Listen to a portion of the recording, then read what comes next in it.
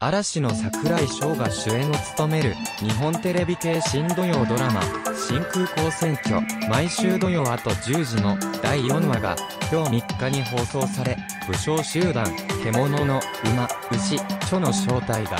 明らかになった。前作となる大病院選挙2023は日本が誇る大病院が鬼の面をかぶった謎の武装集団によって占拠され桜井演じる休職中の捜査官武蔵三郎が人質を救うため犯人に立ち向かった。